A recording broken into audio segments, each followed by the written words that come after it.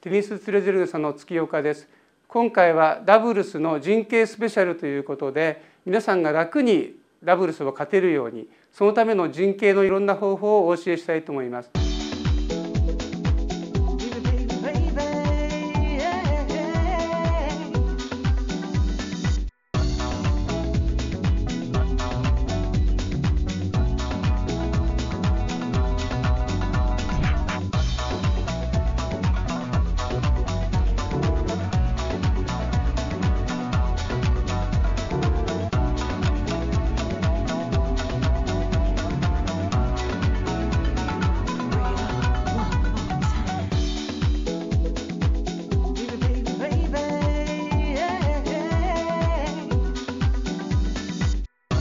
ボールを沈めてください。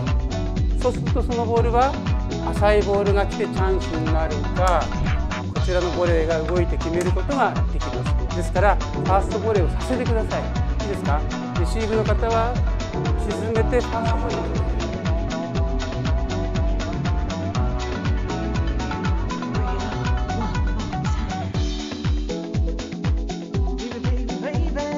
まあ、いろんなダブルスをやっていきますと中にはこのように前に出てくる前衛陣ですね。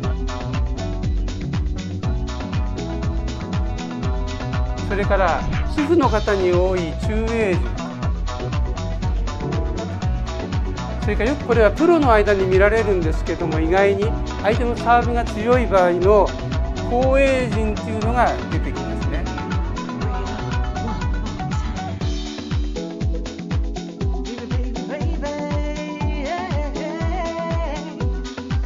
プレイヤーは自由に動く。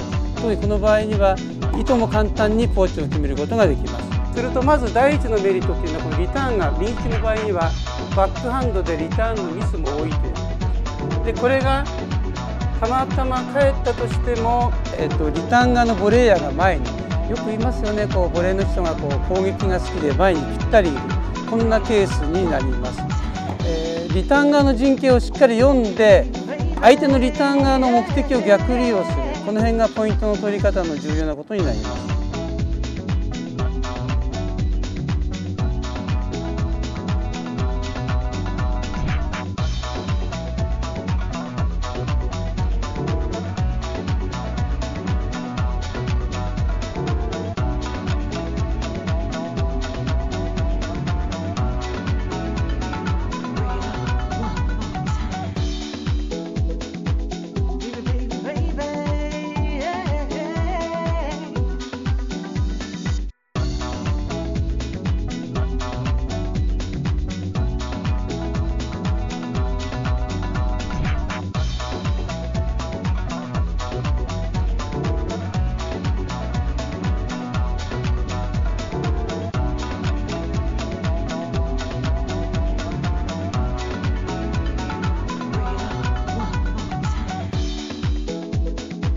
陣形を考えてみたいんですけれどもサービスがいるボレーヤーがいる。さあさっきの考え方でオープンコートを見てみましょう。オープンコートは圧倒的に前が空いてますよね。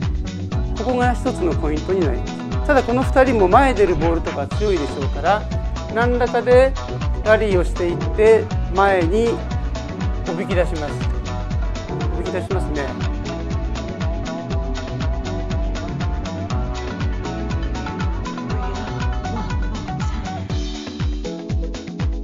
ーがボールをつなげていってそして甘いボールが来ます。それをボレーヤーが決める。こっちに決めることもできます。